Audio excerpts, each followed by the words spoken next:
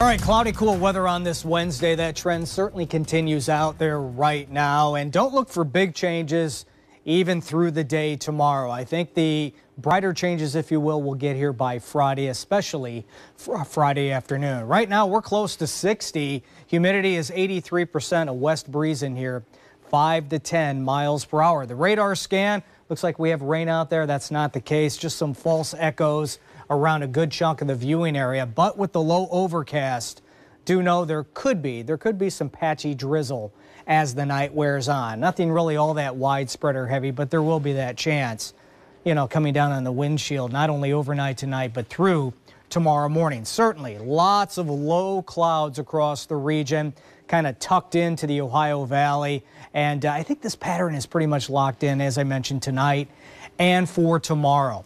Low temperatures, we're not going to budge all that much more. We'll be in the upper 50s from top to bottom across the viewing area. I think we'll bottom out around 57 in the metro bright early in the morning. And look at that. Boy, just widespread low clouds across all of the Ohio Valley. They will tend to thin out a little bit, especially off to the south.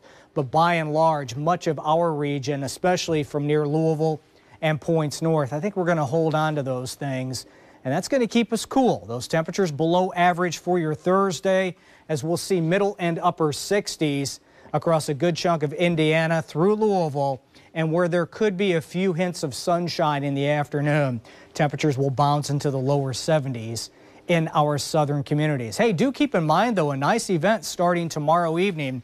It's the Jack-O-Lantern Spectacular. Uh, it kicks off at 7 o'clock in the evening and will go until about 11 o'clock. There's your forecast for the event.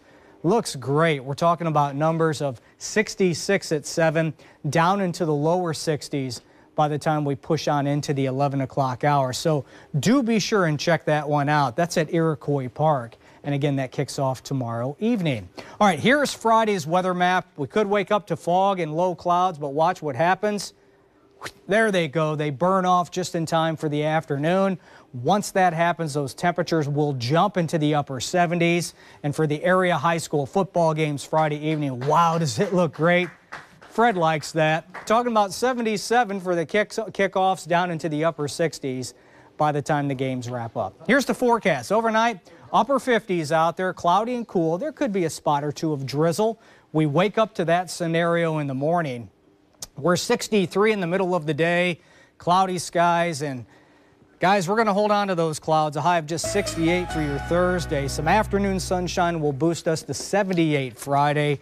Eric, the pick of the weekend is Saturday with 83 bright sunshine because even though we're going to be that warm again on Sunday, there's going to be a shower chance in the afternoon.